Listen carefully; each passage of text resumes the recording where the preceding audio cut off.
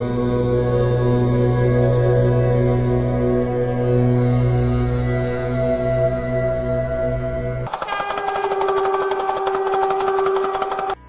है दुनिया की सबसे बड़ी भगवान शिव की प्रतिमा, जो कि तीन सौ इक्यावन फीट की है। राजस्थान के राजसमंद ज़िले में श्रीनाथ जी की नगरी नाथद्वारा में इसे बनाया जा रहा है।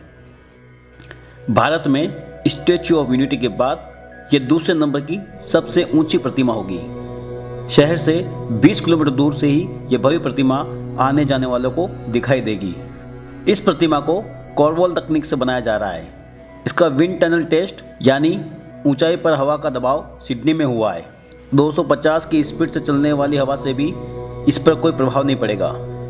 इसका डिज़ाइन मूर्तिकार नरेश कुमावत ने किया है।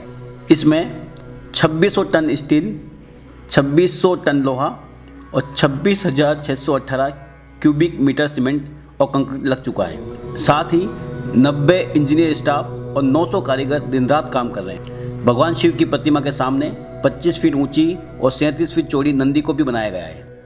इस प्रोजेक्ट को नादवारा का मिराज ग्रुप बनवा रहा है। बताया जा रहा है कि मार्च 2019 तक इस मूर्ति का काम पूरा हो जाएगा।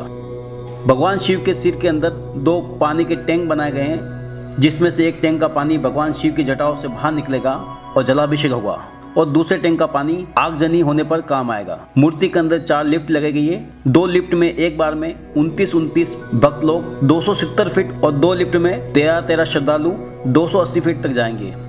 भगवान शिव के कंधे पर जाकर पर्यटक श्रीनाथ जी की नगरी और नादवारा मंदिर के दर्शन का आनंद ले सकेंगे। स्टेचू पर लाइटिंग का काम मस्को कंपनी को दिया गया है, जो कि अमेरिकन कंपनी है, ताकि ये शिव मूर्ति रात को भी दूर से दिखाई दे सके। स्टेचू ऑफ़ लिबर्टी पर भी लाइटिंग का काम यही कंपनी कर रही है।